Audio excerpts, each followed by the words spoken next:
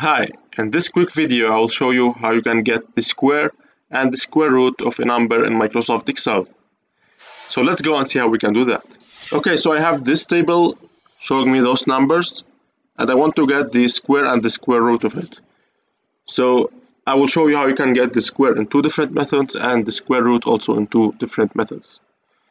So first let's start by the square. In order to get the square of number 2, I can put equals and select this cell. Then I will press on shift and 6 to raise the power and then type 2. So 2 to the power 2 is 4. I will extend it to the other numbers and as you can see I got the square of all these numbers. The second method to do it is to use the power function equals power. I'll choose the number, number 2, comma, and the power. I want it to be squared, so 2. And I can extend it to the other numbers.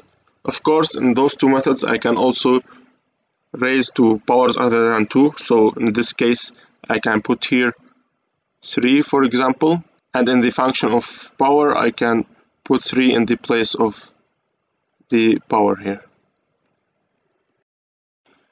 Now to get the square root first method is type equals I select the number and then shift 6 and I will put it as power 1 over 2 which gives me the square root or the radical of number 2 and I will extend it to the other numbers.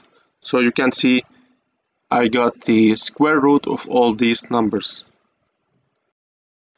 Of course also if you want to get the third root you can put 1 over 3 here.